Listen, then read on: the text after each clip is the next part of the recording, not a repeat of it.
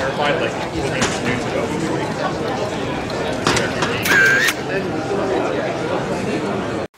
Niektórzy uważają, że pana stanowisko, stanowisko doradcy burmistrza jest niepotrzebne. Co pan na to?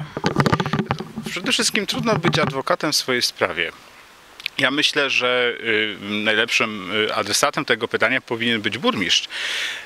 Natomiast no na dobrą sprawę jutro mija y, miesiąc pracy y, mojej dla pana burmistrza.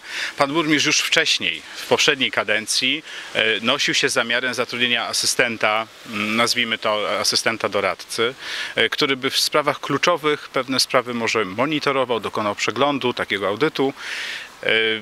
W związku z powyższym, no przede wszystkim, tak jak już kiedyś wspomniałem, burmistrz odczuwał taką potrzebę. Wczoraj mieliśmy rozmowę, która, y, na, podczas której przedstawiłem efekty swojej pracy.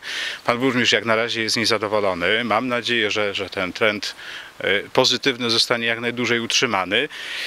I, I przez pryzmat pierwszego miesiąca mogę powiedzieć, ja tak czuję się potrzebny. I, i, I to też wynika z takiego patriotyzmu lokalnego. Jestem mieszkańcem tego miasta i chcę dla tego miasta jak najlepiej. I w związku z powyższym, y, jeżeli, jak już kiedyś mówiłem, jeżeli moja wiedza, praktyka zawodowa będzie tylko y, służyła panu, y, panu burmistrzowi mieszkańcom tego miasta, to jestem do usług.